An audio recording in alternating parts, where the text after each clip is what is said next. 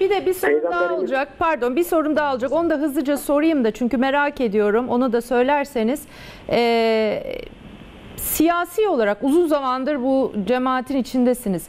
Siyasi olarak herhangi bir seçimden önce bir partiye yönlendirildiniz mi? Genelde AK Parti'ye yönlendirildik. Şeyh tarafından Genelde AK Parti'ye oy verilecek diye yönlendirildik her zaman.